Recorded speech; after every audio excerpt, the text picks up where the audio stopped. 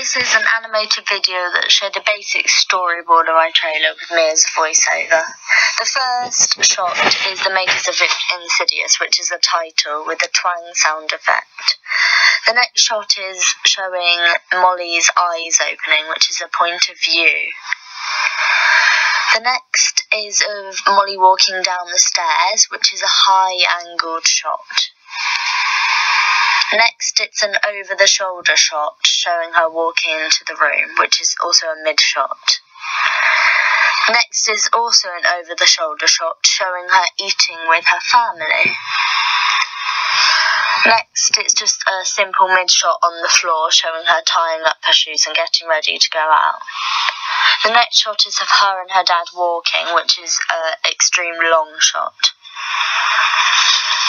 Next shot is a panning right of the landscape, which could be an establishing shot. Next is panning left, um, which has a ghost effect on also. The next shot is a jump cut of her and her dad walking into the woods, which is also an establishing shot of the woods. Um, the next is a mid shot slash long shot on a still camera tripod. Um, this is a still close up of the feet walking through the woods. Next is a close up, and then it zooms out to show the dad's legs hanging. Next is of Molly screaming, which is a close up on the still camera.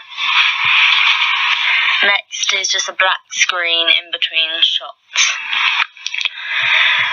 The next shot is of the murderer with a strobe lighting effect, which is also shown in a mid shot. And then it, then there's a title shot ten years later.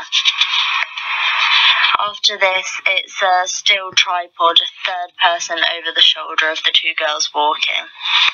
There's then an extreme long shot and zoom out from the moon giving a sense of sort of time of day.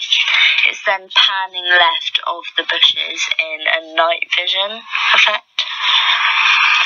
Then there's a panning down of the bushes, also in a night vision effect.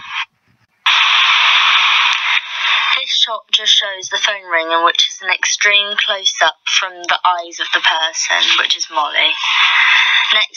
Black screen while the phone voice is. After this, it's in night vision and the girl's looking around. It's a close up. Next shot shows Molly running, which is using a handheld camera to give a sense of realism and running. The next is just a panning shot of the bushes shown very quickly. Next is a POV shot of Molly running. This is just a still shot of the knife, which is, I'd say, a mid shot slash close up shot. The woods title then comes up, and the woods in the background appear behind it. Then cuts to a black screen while the tension builds up. It then shows Molly screaming in a close up shot.